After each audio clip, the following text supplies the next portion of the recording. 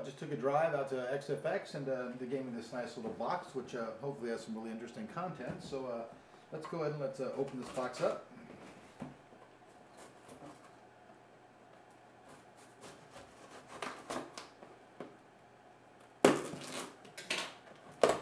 All right, let's open this box up and let's see what we've got going on here.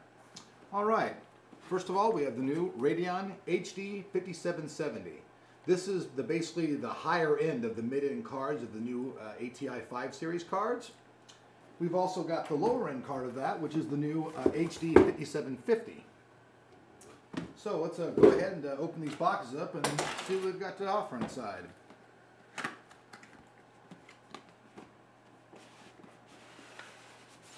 By the way, these boxes are really small. A lot smaller than the most normal boxes that you'll see. Great for good shelf space, I'm sure. Okay, let's open this up.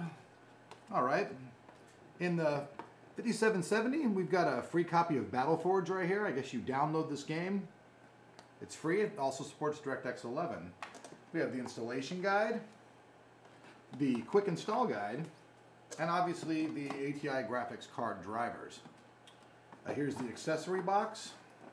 Take a look here. This little thing open up.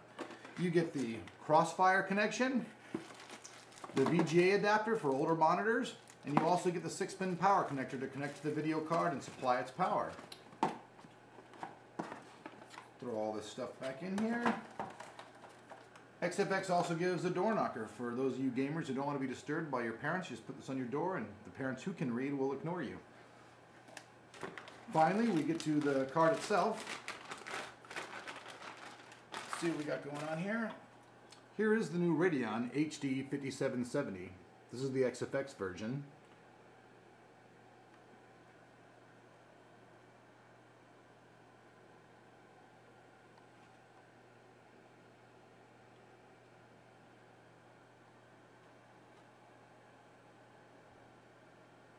So let's get this out of the way.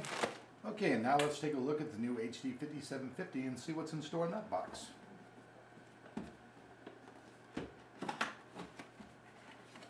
Packaging is pretty much the same as the 5770, almost identical in fact, all the way down to basically when you get inside the box. It still comes with the quick install guide, it comes with the drivers, it comes with the installation guide. It does not, however, come with a free game, and in the packaging content, all you get is a six pin power connector. There's no VGA adapter and there is no crossfire. Once again, you get a card knocker for those pesky parents. Or I guess for, for those of you that are married, for those pesky wives. Here's a look at the card. It's actually much different than the 5770. The 5750 is much smaller. It's about an inch smaller than the other card. The heatsink signature is only right on the GPU itself. Actually, the card should run a bit cooler due to the fact that the card is more exposed and should dissipate better heat. The I.O. is exactly the same.